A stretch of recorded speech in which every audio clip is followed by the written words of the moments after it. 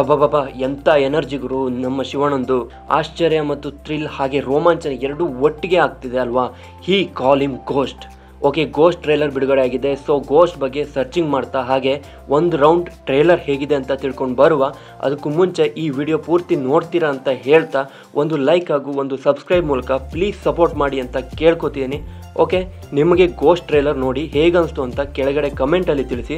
ಹಾಗೆ ನನಗೆ ಹೇಗನ್ನಿಸ್ತು ಅಂತ ನಾನು ಈ ವಿಡಿಯೋದಲ್ಲಿ ಹೇಳ್ತಾ ಹೋಗ್ತೀನಿ. ಬನ್ನಿ, ತಡ ಮಾಡದೆ ಟ್ರೇಲರ್ ಬಗ್ಗೆ ತಿಳ್ಕೊಂಡ್ಬಿಡುವ. ಇನ್ಫ್ಯಾಕ್ಟ್ ನಾನು ಈ ಗೋಸ್ಟ್ ಟ್ರೇಲರ್ ರಿವ್ಯೂನ ಮುಂಚೆ ಒಂದು ವಿಷಯದ ಬಗ್ಗೆ ನಿಮಗೆ ಹೇಳಲೇಬೇಕು. ಅದು ಶಿವಣ್ಣ ಅವರ ಎಂಗೇಜ್ ಲುಕ್ ಇದನ್ನು ನಾವು ಶಿವಣ್ಣ ಅವರ ಹಳೆಯ ಮೂವಿ ನೋಡಿ, ಇದ್ರೆ ಇಂಥ ಹೀರೋ ಹಾಗೆ ಆ ಹೇರ್ ಸ್ಟೈಲ್ ಮೇಂಟೈನ್ ಮಾಡಬೇಕು ಅಂತ ಅನಿಸಿತ್ತು. ಸೊ ಹಾಗೇನೆ ಕೂಡ ನಾನು ಕೂಡ ನನ್ನ ಸ್ಕೂಲ್ ಟೈಮಲ್ಲಿ ಆ ಹೇರ್ ಸ್ಟೈಲ್ನ ಫಾಲೋ ಮಾಡಿದ್ದೆ ಕೂಡ. ಆದರೆ ಏನು ಮಾಡೋದು, ನಮ್ಮ ಸ್ಕೂಲಲ್ಲಿ ಜಾಸ್ತಿ ದಿನ ಆ ಹೇರ್ ಸ್ಟೈಲ್ನ ಫಾಲೋ ಮಾಡೋಕ್ಕೆ ಕೊಡಲೇ ಇಲ್ಲ. ಅದಕ್ಕೆ ನಮ್ಮ ಟೀಚರ್ಸ್ ಕತ್ರಿ ಹಾಕೇ ಬಿಟ್ರು. ಆದರೆ ಅದು ಬಿಡಿ, ತುಂಬ ಹಳೆ ವಿಷಯ ಆಯಿತು. ಇವಾಗ ಮತ್ತೆ ಆ ಲುಕ್ನ ನಮಗೆ ಗೋಸ್ಟ್ ಮೂವಿಯ ಮೂಲಕ ನೋಡೋಕ್ಕೆ ಸಿಗ್ತಿದೆ ಏನಂತೀರಾ ಇದರ ಬಗ್ಗೆ ಅಲ್ವಾ? ಮೊದಲು ಪೋಸ್ಟರ್ ಬಿಟ್ಟಾಗೇನೆ ಗೋಸ್ಟ್ ಒಂದು ದೊಡ್ಡ ಹಿಟ್ ಲಿಸ್ಟ್ ಫಿಲ್ಮ್ಗೆ ಸೇರುತ್ತೆ ಅಂತ ನಾನು ಭಾವಿಸಿದ್ದೆ. ಅದಕ್ಕೆ ಕಾರಣ ಆ ವಿಷನ್ ಬೈ ಶ್ರೀನಿ ಅವರ ಡೈರೆಕ್ಷನಲ್ಲಿ ಬರ್ತಿರೋ ಗೋಸ್ಟ್ ಮೂವಿ ನಾನು ಅಂದ್ಕೊಂಡಿದ್ದೆ ಹಾಗೇನೆ. ಟೀಸರ್ ಆ್ಯಂಡ್ ಲಾಸ್ಟ್ ವೀಕಲ್ಲಿ ಬಂದಿರೋ ಸಾಂಗ್ ಕೂಡ ಟ್ರೆಂಡ್ ಸೆಟ್ ಮಾಡಿತ್ತು. ಇವಾಗ ಟ್ರೇಲರ್ ಭರ್ಜರಿ, ಅದರಲ್ಲೂ number one trending on YouTube ಇದು ಶಿವಣ್ಣ ಆ್ಯಂಡ್ ಶ್ರೀನಿ ಅವರ ತಾಕತ್ತು ಅಂತ ಹೇಳ್ತೀನಿ. ಹಾಗೆಯೇ ಮೇಜರಾಗಿ ಟ್ರೇಲರಲ್ಲಿ ಏನನ್ನು ಬಿಟ್ಕೊಟ್ಟಿಲ್ಲ. ಆದರೆ ಇರೋದ್ರಲ್ಲೇ ಏನಿದೆ ಅಂತ ಹುಡ್ಕೊಂಡು ನೋಡೋದಾದರೆ, ಅದರಲ್ಲಿ ಮೊದಲನೇದಾಗಿ ನಿಲ್ಲೋದು ಆ ಶಿವಣ್ಣನವರ ಯಂಗೇಜ್ ಲುಕ್ ಹಾಗೆ ಅವರ ಸ್ವ್ಯಾಗ್ ಮತ್ತು ಮ್ಯೂಸಿಕ್, ಮತ್ತು ಮ ನೆಕ್ಸ್ಟ್ ಬರೋದಾದರೆ ಹೇಸ್ ಥ್ರಿಲ್ಲರ್ ಕತೆ, ಹಾಗೆ ಎರಡೇ ಎರಡು ದಿನದಲ್ಲಿ ನಡೆಯೋ ಕತೆ ಆಗಿರೋದ್ರಿಂದ ನಮಗೆ ತಿಳಿಯೋದು ಇಷ್ಟೇ, ಒಬ್ಬ ಗ್ಯಾಂಗ್ಸ್ಟರ್ ಅವನು ಯಾರ ಕೈಗೆ ಸಿಗದಂತೆ ಕೆಲಸ ಮುಗಿಸೋ ಗೋಸ್ಟ್ ಅಂತ, ಆದರೆ ಇವನು ಯಾಕೆ ಒಂದು ಜೈಲಲ್ಲಿ ಹೈಜಾಕ್ ಮಾಡ್ತಾನೆ, ಮತ್ತು ಇದರ ಸುತ್ತ ಏನು ವಿಷಯ ಇದೆ ಅಂತ ಅಷ್ಟೇ ಆದರೆ ಇವನು ಒಳ್ಳೆಯವನ ಅಥವಾ ಕೆಟ್ಟವನ ಅನ್ನೋದು ಒಂಚೂರು ಬಿಟ್ಕೊಟ್ಟಿಲ್ಲ. ಇದನ್ನು ಮೂವಿ ಬಂದಾಗ ಥಿಯೇಟರಲ್ಲಿ ವಿಸಲ್ ಹೊಡಿತಾ ನೋಡೋದೇ ಮಜಾ ಅನ್ನಿಸ್ತಿದೆ. ಏನಪ್ಪ ಇದು ವಿಷಯನ ಹೇಳೋದು ಬಿಟ್ಟು ಮೇಲಿಂದ ಮೇಲೆ ಕೊರಿತಾ ಇದ್ದಾನೆ ಅನ್ಕೋಬೇಡಿ. ವಿಷಯದ ಬಗ್ಗೆ ಮಾತಾಡೋಕ್ಕೆ ಇನ್ನೂ ಟೈಮ್ ಇದೆ. ಆದರೆ ಮೂವಿ ಬಗ್ಗೆ ಹೆಚ್ಚೇನು ಹೇಳಬಾರ್ದು ಅಲ್ವಾ?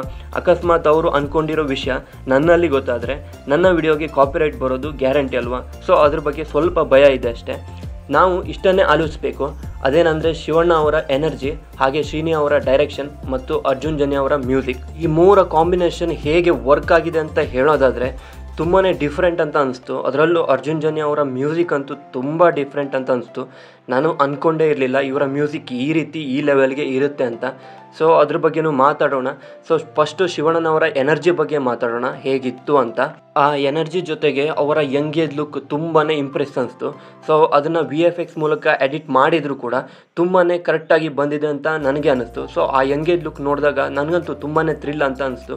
ಸೊ ಅವರನ್ನು ಮತ್ತೆ ಆ ಯಂಗೇಜ್ ಲುಕ್ನಲ್ಲಿ ನೋಡ್ತಿದ್ದೀವಲ್ಲ, ಅದು ಥಿಯೇಟರ್ನಲ್ಲಿ ಸೊ ವಿಜುವಲ್ ಹೊಡಿತಾ ಅಂತ ತುಂಬಾ ಖುಷಿ ಆಗ್ತಿದೆ. ಸೊ ಶ್ರೀನಿ ಅವರಿಗೆ ಒಂದು ಥ್ಯಾಂಕ್ಸ್ ಅಂತೂ ಹೇಳಲೇಬೇಕು ನಾವು. ಮತ್ತು ಶಿವಣ್ಣ ಅವರ ಎನರ್ಜಿ ಅಂತೂ ಹೇಳೋದೇ ಬೇಡ. ಬೇರೆ ಲೆವೆಲ್ಗೆ ಇದೆ. ಇಡೀ ಟ್ರೇಲರ್ನ ಒಂದು ಕಬ್ಜಾ ರೀತಿ ಆಕ್ರಮಣ ಮಾಡ್ಕೊಬಿಟ್ಟಿದ್ದಾರೆ ಅಂತ ಹೇಳ್ಬೋದು.